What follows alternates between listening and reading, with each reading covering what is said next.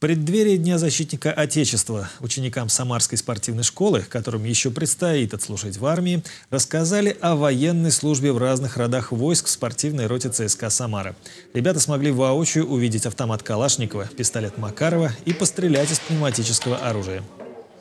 Каждый, каждый гражданин Российской Федерации, да, мужского пола особенно, он должен знать, что он является защитником нашего Отечества. А подготовка, которая проходит в вооруженных силах, а, она, естественно, позволяет ну, обучить элементарным навыкам каждого гражданина, чтобы при возникновении каких-то чрезвычайных ситуаций он смог достойно отстоять честь и достоинство своей Родины.